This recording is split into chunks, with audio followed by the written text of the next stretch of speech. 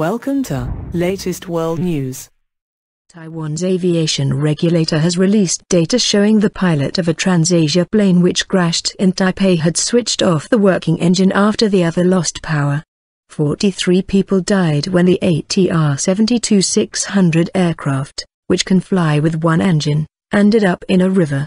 The report says that in a cockpit recording, the pilot is heard saying, wow, pulled back the wrong side throttle. It does not assign blame for the crash. The data provided as part of the investigation by the Aviation Safety Council, ASC, follows an initial assessment released days after the crash. Giving a detailed breakdown of the conversation heard on the cockpit voice recorder between the flying pilot and the co-pilot. The report says the captain is heard saying he pulled back the wrong side throttle while the aircraft was at 309 feet, 94 meters flying at a speed of 105 knots, 120 miles per hour. Flight data shows that the plane stalled and crashed shortly after the working engine was switched off.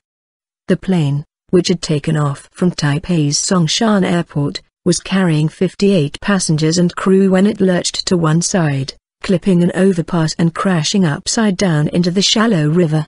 The ASC said it would put out a final draft in November, with causes and recommendations. The final report will be published next April.